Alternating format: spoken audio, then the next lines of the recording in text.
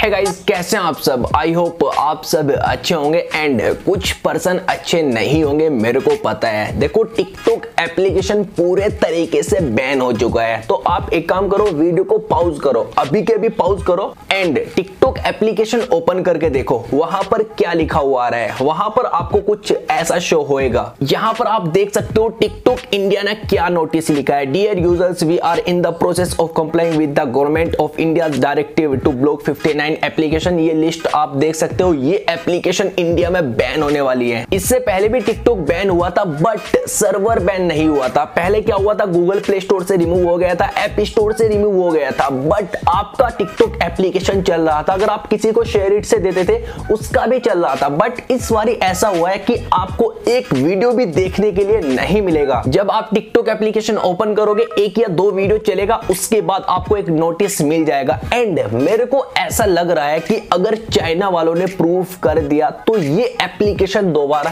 चल सकता है। आप क्या कहना चाहोगे? ये एप्लीकेशन दोबारा चलना चाहिए या नहीं? बट यार, मेरे को ये समझ में नहीं आ रहा कि अभी भी शेयर इट एंड एक्जेंडर अगर मैं सर्च करके देखता हूँ तो जेंडर भी अभी हमें प्ले स्टोर पर दिखाई दे रहा है। ये एप्लीकेशन कब जाएँगे? बाय द वे वक्त लगता है यार धीरे धीरे सब निकल जाएँगे। यार टिकटॉक पर कुछ ऐसे क्रिएटर्स भी थे जिनके अंदर टैलेंट था तो यार उनका तो खत्म सब कुछ। टिकटॉक बैन होने की वजह से उन्हीं पर्सन का नुकसान हुआ है, जो केवल फ़िल्टर मार के लिपसिंग करने आ जाते थे, ठीक है? एंड लाइक्स ले जाते थे बहुत ज़्यादा। एंड जिनके अंदर टैलेंट होता था, उनको ज़्यादा लाइक्स नहीं मिलते थे।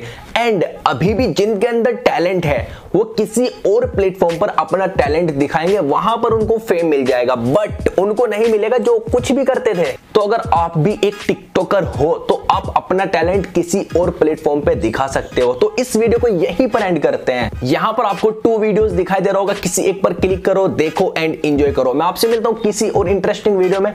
तब तक के लिए टेक केयर एंड बाय